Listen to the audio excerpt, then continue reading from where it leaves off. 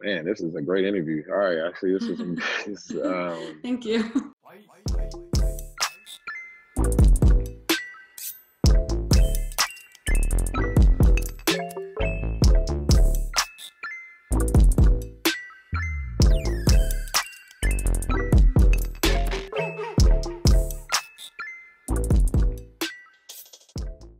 First things first, I want to talk to you about. I know that you are doing some work um, with your own company, training some basketball yeah. players. Can you talk to me a little bit about that? Yeah, no, actually, it's been good. I'm a company called Pro's Vision, and um, we train athletes anywhere from like youth age, from ages of I don't know five to junior junior high kids, um, um, middle school, high school, college, NBA players, and it's been working out for us thus far. I mean, for us, it's more about interactive. You know, we're not just your ordinary training group where we just pass you the ball, you shoot. You know, we like to try to put you in a lot of different game situations, watch film, anything that is going to help you out with the respectable teams as you go back to. That's what we try to do, and it's been working out for us thus far. I think that's really smart because I do talk to a lot of agents and a lot of scouts in, this, in the NBA and it's always yeah. kind of hard to determine how a player's game is going to translate from either high school or college to the next level. Um, so, what do you guys do to to kind of showcase that? I mean, is there anything specific that you like to work on with these guys? Yeah, so like you know, depending on what team you're at, you know, we like to interview some of the coaches and try to ask some questions on you know some of your weaknesses and strengths. That's how we start the process off, and um, then we'll try to watch film on the team that you're about to play with, and we try to put you in positions like that's the you know respectable system that you're going to be in. So mm-hmm. we try to do whatever we can to, to have you have an upper hand, you know, with that team. And um, I think what's unique about our situation is a lot of guys that work with the players now we've all experienced and are played at a high level. So we kind of just take our experiences and try to give them as much gems as we can. What made you want to get into doing this? You know, actually, I don't know. I just, you know, I wanted, I wanted a training company. I want to be able to help people out. You know what I mean? In some ways, especially like the youth. And then I just fell in love with it. You know, I know I wasn't going to be around basketball as much. You know what I mean? You know, since I, you know, took a step back. But um, this is one way to just keep me going, and it's it's been working out. So I know the big topic, and you you shook the basketball world when you decided to not come right. back to the NBA what was like the turning point for you? What was the moment that you kind of started considering not wanting to come back or maybe just reconsidering um, that avenue? Right i mean i think it was just about more about like family you know i think um you know a lot of us players like we don't really have that much time with our families and just be able to, to spend more time with my son was like a big thing to me you know what i mean? Taking a step back and reassessing like my priority my priorities right now and being able to spend more time with him. You know, you look at the situation with Kobe, and you know he got a chance to spend as much time as he can with his family, and it was much needed. So the same thing for me. You know what I mean? I'm always going to be able to be around the sport of basketball. Um, you know, if I do decide to come back, I don't know. You know what I mean? I, I have that right there. You know, financially I'm fine, but it was more for me just spending more time with my family. And I know you mentioned Kobe. That was something I also wanted to ask you. I know you grew up in California. Um, I'm sure you know you were a big fan of his game uh, and, and, a fan of who he was as a person. Um, what's your favorite Kobe story, and what did you learn from him? I think um, you know one of my favorite Kobe stories. Um, I, I mean, he has so many. I think more more importantly, it was just watching him play and just him just inspiring some of the kids that are like from the LA area. So like you know, me, Russ, James, um, you know, Brandon James, I used to play, um, you name it. Like, we grew up watching him. Mm-hmm. Um, and to be able to play against him, it was like all inspiring for us. And, you know, the situation that happened to him was, you know, tragic more for the players that grew up watching him because, you know, that's all we saw. It was like our own sitcom watching Kobe and the Lakers. And I and I think the impact that he's had on the NBA community speak volumes. And you know how he passed away, you saw how many people you know was there to support him. No, absolutely. Was there a certain player who you used to look up to growing up, or who inspired you to want to play basketball? Yeah, actually, I mean, it was um, it was Iverson. You know, Allen Iverson was one, you know, that I grew up watching playing, and you know, I tried maybe my game after him because he was so small and quick. Mm-hmm. And he was able to create his shot still at, at, his height. You know, he's probably one of the best scorers at the shooting guard position at what six feet. Um, so yeah, he was definitely one of them. What do you think he's done for the game? I think he's done things tremendously as far as fashion. You know, he's had an impact on, you know, the NBA with fashion where they had to give us a dress code because of him. You know what I mean? But now they went back to, you know, having your own style. And you see some of these players coming out with so many different unique fashion tips, and, and a lot has to do with him. Um, you know, he, he started the braids. That was transcending at the time when he had the braids, and like I said, just his his down to earth feel. Like he was extremely down to earth. You know what I mean? Especially when you talk to him to this day, like he's always giving the other players respect. He never hates on the younger generation. You know, he's always trying to give game up, and that's somebody that you got to admire. Absolutely. So I, I kind of want to know right now. There's always these debates, but I want to hear from a, a, fellow point guard who you think right now in the league is like a top three uh, point guards in the league right now. Oh man, actually, that's tough. Oh man, it's it's it's, it's a tough um, question because um, the point guard is now so tough. You know what I mean? Um, I, of course, you gotta go with Steph. You know, he's won so many. You know, I think what he has two or three rings, right? Um, three. Three. Yeah, okay, yeah, you knew. So three rings. um, um, I, I like Damian Lillard. I think Damian Lillard is somebody that you know needs to start getting his credit and respect. I mean, he's definitely made an impact on the game within the last, you know, three, four years out of playing at a high level. You know what I mean? And especially how he came into the playoffs too. Um, and then I probably would go with either CP or Russ. You know, my good friends Russ and actually my other good friend CP. I think those two, you know, have an impact on the game every time they step on the court. But you know, I don't think they, there can be a list. I mean, because all these point guards are good. You know, Kemba Walker, you know, Ja Morant, mm-hmm. um, you know, Lonzo Ball, De'Aaron Fox. Like the list goes on and on and on. I don't think it's on one set list that you can go off because the point guard is so good right now. So I know you've also played with Chris Paul, um, and you know I think he kind of gets a bad rap sometimes. And then now we're seeing that we he's turned around so many different organizations, and I don't think we're talking sure. enough about that. For so sure. when you watch him right now thriving with OKC, they weren't even thought about to even make a playoff run. Yeah. Um, what, what are you seeing on the floor from him? I think um, I think you're seeing a Hall of Fame point guard. I think you're you're seeing a guy that has so much of an impact on the game that you know he doesn't take nothing away from his teammates. Um, you know, you can say what you want to say about him, but he puts wins in the wins column. Um, I think what he's doing with OKC, I think he deserves some type of MVP consideration. I mean, it's it's very hard to go to an organization, if that a new organization, and to have the impact that he's had. And he's had an impact on me. You know, I've, I watched him. I studied his game for a very long time, and I, I like not just what he does on the court, but off the court as well. So people like to talk about his IQ for the game. And I think a lot of people who watch basketball, you can kind of tell someone who's really seasoned in that department as opposed to just kind of passing or, or doing whatever. He can kind of see the floor right. from, from a different perspective. How do you develop that? Um, I, I just think it's just it's just you're born with it. You know, I think it just comes over time. You don't. It's not something that you just do. Um, I think something that you just naturally have. You know, your your ability to make plays and um, to make certain reads that other players can't make. I mean, it just it's something that is just naturally that comes to you. Um, you can study the game as well. I think that's the one way to to become an elite point guard in the NBA. And and the more and more you see plays, the more and more you see certain situations, you'll be able to read them before it even happens. And mm-hmm. that's just how it goes. And there's two other guys that, you know, we're, we're kind of considered washed, so to speak, or guys that we don't um, we won't see play again, like Melo and Jamal Crawford. Um, I know Jamal just got hurt, unfortunately, but I definitely think he deserves a spot in this league for for several years to come. Um, when you saw that they were both given like a second chance, what was your first reaction?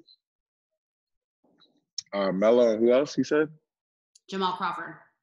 Oh, okay, yeah, yeah. Um, bam, my man. Yeah. Um, well, first of all, with Melo, I always felt like he was a great player. I think he just was in a tough situation where he kind of had to defend himself more than anything. I think I don't think he they did. I think they did him wrong in Houston. I don't think you know they should have cut him or whatever they did to him in Houston. I thought he could have contributed to that team just as much as anybody else on that team. Um, but it happened. You know, he went through what he went through, but he showed everybody that he's resilient and he can come back and still make an impact on the team that's arguably could be in the playoffs this year. Um, Hall of Fame player, one of the best scorers at his position. Um, and you see the stuff that he does off the court too. You know, to me, I, I, don't think it's just about the impact you do on the court; it's about the impact you do off the court. If you're a great player on the court and you have the same amount of impact off the court, that that's what defines you know a great, great, um, not just human being, but you know, an impactful person. You know what I mean? Um, and then Jamal Crawford, who's he's he's been one of my best vets, you know, since I've been in the NBA. I'm happy for him. Um, he deserves another chance. I mean, to get on the court because he can still play.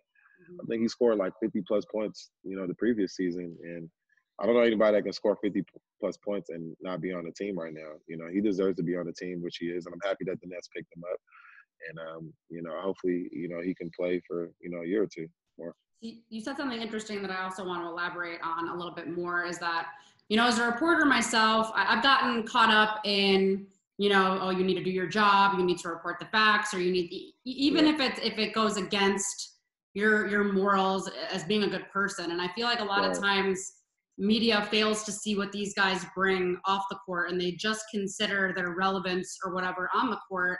Um, yeah. how do you navigate that? Like a, as a player how do you kind of just try to, to shut off what the media has to say ignore social media and just focus on you i mean at the end of the day it's it's your life it's your career um, and you kind of are author to your own story. So you write however you want to you want people to view your story. So if you feel like something, if you feel strongly about something and you, you know, you're playing a certain way, you know what I mean, and that's just your game, then you continue to do that. I mean, who cares what the media has to say about you? So for me, it was all about just locking into one common goal. For me, it was just about I don't care how I perform on the court, I just want my team to win.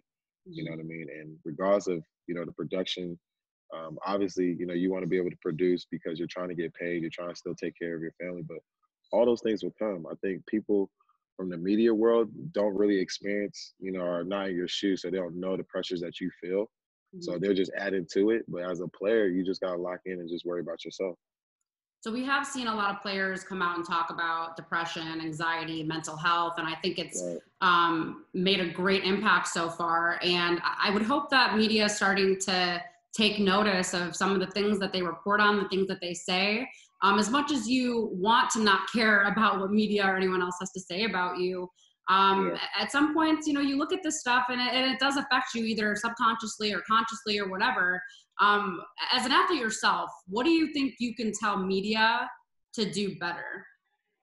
Um, just be sensitive and consider, you know, some of these players and what they're going through. Um, you know, the roles are reversed. You know, you wouldn't want, you know, I don't know, 50 people a day critiquing every move that you do. Actually, you got up the wrong way and you sit down the wrong way. And actually, I don't like the food you're eating. Why are you eating that food? Are you, are you sure you want to eat that food? I, I don't like the way Ashley's doing. Like every day, we could continue to hear that. You know, some players are just not built to, you know, take that type of criticism. You know, that's why I said you got to be very strong and, you know, um, strong will, tough-minded to, you know, neglect some of that you know that pressure and then focus on yourself. You know the media is going to continue to do their job. Some people do it you know worse than some other media people and there's some good media people out there still. Mm-hmm. so you know at the end of the day you know if you're a media person it's all about respect. You can still report whatever story you want but still have respect of a lot of players in the league and there's just no better feeling when you have those two is this something that you work on with the players you're currently working with at uh, your facility? Are you talking to them about the mental yeah. side of the game, how to carry themselves? For sure, for sure. I think we don't talk about it too too much. You know what I mean? Um, we always talk about the physical part of the game and coming in the gym and working on your game and then lifting and strength and conditioning. But the mental is just a part of the physical. So how can you work on the how can you work on the mental? You know, one way is to you know you know, self meditation, you know what I mean? Really get into a zone where you're locked in and it's just about you. And the times when things are not going so well, practice, practice and trying to be positive with yourself. It's easy to self doubt yourself and to be negative. Um, and then we all know that like not everything is going to be perfect. You know, you're going to have some you know, whether it's family issues, financials, whatever, that's gonna like try to bring you down as a player. But you still got to be able to produce on the floor at all costs. And how can you do that? You know, you got to be able to practice and continue to you know give yourself some self love. Mm-hmm. And then um, I know that you also have talked about you know religion being a part of um, your yep. your choice to to leave the NBA and focus more on for that. Sure. What does that look like for you? For me, it's just about building faith. I mean, to me, you know, we all have our thing. You know what I mean? And I love you know be able to you know help others. You know, my religion helps a lot of people. You know, in so many different ways, and um, to be able to to build faith it, through that, you know, it kind of helps me on the court too as well. You know, it, it just goes hand in hand. So um, it's my thing. It's something that you know I devote myself to. You know, and I, I try to get better at it. You know, it's not something that's perfect. You know what I mean? But I try to get better each day and try to be the best possible human I could possibly be. I think that's where a lot of people struggle is being able to to dig within themselves and figure out themselves as people. For sure. Um, and understand like their purpose. So I want to know what is what is your purpose? I think my purpose is to help as many people um, um, get to a point in their life where they're um, satisfied with their um, success you know, whatever level that is, if it's a kid that just wants to play high school varsity and he just wants to make the team and mm-hmm. you know, I have something to contribute to that, that's I've done my job. Um, if it's somebody that's struggling mentally and they need some type of help, you know what I mean, to get through something like a problem that they're going through in life, um, I've done my job. So just try to help as many people as I can possibly can. I know it sounds cliche, but it really is the truth. You know, I think we're not here on this earth for a very long time. The, you know, we never know what make it happen to us. You know, we can be gone tomorrow, God forbid. But mm-hmm. you know, if I can have as much impact on as much individuals as I can, then I've done my job. You know, regardless of what anybody says about me, I'm gonna still do it. Who do you turn turn to when you're facing challenges, adversity, or when you're feeling low? Yeah, I mean, my faith, you know, in God, and you know, I have a great support system with my parents, uh, my sister, uh, family, and friends. Uh, I have a great support system. If you have a great support system, you know, it's kind of like half the battle you're going through. They know everybody else how you are, so they kind of put things in perspective and try to give you that strength through that. What is the highest pressure situation that you've experienced, and how did you handle it? Um, I think for me, I think when I got to Dallas, you know, I was always, I was a starting point guard, you know, pretty much my whole entire time before I got to Dallas. I started for Dallas um, Derek Fisher comes and you know he I don't even think he practiced at all. He just came in and he started and I was moved to the bench and it was tough for me because you know I felt like I put in all this work to be a starting point guard in the NBA um, and then to you know obviously you know he's Derek Fisher's won championships and he's done many things but for me as a player you know I felt like I took a step back mm-hmm. and then I had to really really analyze myself like okay what's the next possible thing that I can do to help have an impact on a team? You know, the worst thing you could do is just to pout or to not be a part of the team and not try to contribute or be negative anyway. For me, it's like I'm gonna be as positive as I possibly can. I'm gonna be in the gym way more than he is. I'm gonna try to be in the gym way more than anybody on my team, and I'm gonna come back. I'm gonna bounce back in a strong way, and I did. You know, I got a lot of love from Rick Carlisle, who's one of the, you know, top coaches in the NBA, and how I handled that situation. And I feel like a lot of guys, um, they, they look at that as like a demotion, right? Um, we saw that yeah. happen happen to Melo. Um, but also, like I, I, think we also lose sight of like, you know, if you do come off the bench, maybe you're the one that's closing. You know, you're closing out the game, which is just as important, if not the most important, than starting the game. Why is like there this stigma of like, like you want us to start, even though if you make a bigger impact off the bench or in the closing seconds of the game? Right. I mean, everybody wants to be the best at their job, you know, and you know, we look at starters as the guys ahead of whoever, you know, in that position, uh, the best. Mm-hmm. But you know that notion's kind of changed where you see guys like Lou Will and Ginobili and guys that come off the bench and have so much of an impact where they're one of the best players on the team. Period. So like I think teams shied away from putting their best players in the, the starting lineup so they can have some firepower coming off the bench. And I think at the end of the day, it's not about who starts; it's about who finishes, right? I would agree with that 100%. so, what three events made the biggest impact on who you are today? three events that made the biggest impact of who I am today. I would say um, definitely my son. Um, that's first and foremost. Mm-hmm. Um, my faith, like I mentioned earlier, and basketball. You know, I've learned so much through basketball where it's feel like it's changed me as a person. You know, I've been through some tough times and it helped me stay focused. You know, I don't think without basketball, I don't know who where I'll be. You know, if it wasn't for basketball.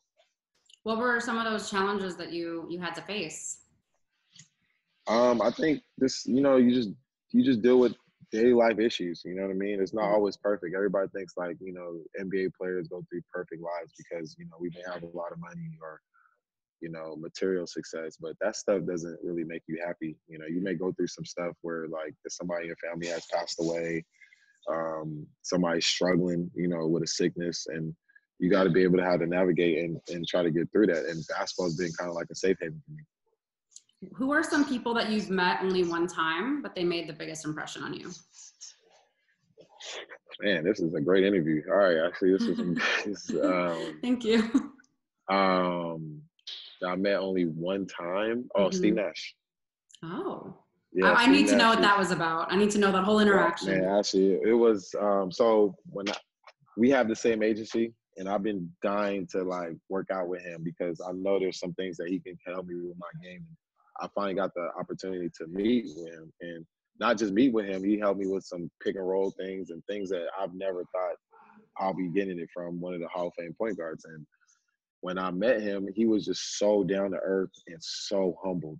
I mean, he literally walked through the gym and you couldn't even recognize him because he wasn't wearing nothing like expensive. He was just coming in with like a shirt, some shorts, and you know, he walked modestly like throughout the whole gym. And you know, if anybody did recognize him, he'll stop and talk and he'll say hi. And to me, that speaks volumes. Like to be a Hall of Fame player and to still act the way you act. I mean, I, I have nothing to say, nothing but great things to say about Steve Nash. And it rubbed off on me.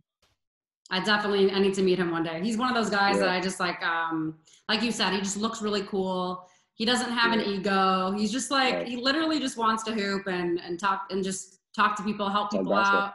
Yeah. yeah. He seems sure. like a really cool guy. Yeah, no, you if you get a chance to do anything with him, I would. No, he's he's a really special person. Well, I might need you to uh, hook me up with that if uh, possible. I would, I would, I would, I would. Yeah. Thank you. And um, just some other like random questions. Is there anything that you collect? I'm assuming probably sneakers, but anything outside of sneakers? No, I'm not really a materialistic type guy. Like I, I like you know I enjoy looking at fashion or shoes or whatever, but I don't really collect too many things where I gotta like keep it for myself. You know what I mean? I think that I'm I'm a father. You know, the only things I collect are like bay toys, like my son that plays with them and stuff. Those are toys that I that those are things that I take advantage of is collecting for him and stuff. So not me personally. What is your creative outlet? It could be like writing or yoga or whatever. What, what's a what's a way that you like to kind of to kind of escape, um, get into your you know your own thoughts, and uh, what's yeah. something like that for you? Uh, I think recently I take I take walks, you know, early in the morning. I go wake up real, real early in the mornings. I might walk or jog in the morning. Um, that helps me to get away from you know whatever the world for a little bit and just to be on to my own. I play video games every now and then. I still play video games. So, mm-hmm. so any, either one of those two things is fine for me. Um, who would be one celebrity that you would want to have dinner with? Beyonce. Beyonce. Okay, why? Yes, for sure. Because I mean, she's just an amazing artist. Mm-hmm. Um, she's talented. I think she works extremely hard. She's a goat. You know, one of the greatest of all time artists that you know has been doing this thing for a very long time. And I think you could take some things from her craft and move forward. What's one small thing a person can do each day that can impact their life? Read. Yeah, it could be reading, you know, like a, you know, whether it's reading a spiritual, you know, type setting book or a good book from an author, uh, reading, you know, you can read clippings, uh, quotes from people that say certain things, um, quotes. I mean, just read. Yeah. What could you give a 30 minute lecture on if you had to do it just last minute? Basketball for sure. I could I could talk about basketball in and out like with my eyes closed. So yeah. And if you could master any skill outside of basketball, what skill would you want to master? Golf. Golf is definitely tough. Like it's a very very hard sport for me. Um, I just started getting into it, Mm-hmm. I'm, I'm, I'm, I'm okay, but I just started getting into it. And um, I think if I can master that, then I've mastered everything on this planet. yeah. You know, I asked another player the same question and he said golf and I, I can't play. I cannot oh, play. I miss the ball every time I try to hit it. It's horrible. Yeah, yeah, I got a buddy named Sean, and I beat on him every time in golf. And yeah, it's just he just can't beat me no more and stuff. So yeah. That's hilarious. And so, um, just a couple more questions for you. I know you're really busy, and again, I do appreciate you taking the time to talk with me. It means a lot. Um, so far, with this whole bubble situation, I know you're probably keeping tabs on everything that's going on. Um, how do you think the NBA has handled everything? I think they're doing a pretty good job. I think there was a report that came out said they have zero uh, positive, or yeah, zero tests that were positive or negative. I'm sorry. Yeah. And um, I think anytime you had that and there's that many players in a bubble, you're doing a good job. I think Adam Silver, Chris Paul, and those guys, they did a good job of having those guys in one bubble, staying safe, and giving us content and a game to entertain, you know, to be entertained while we're at home.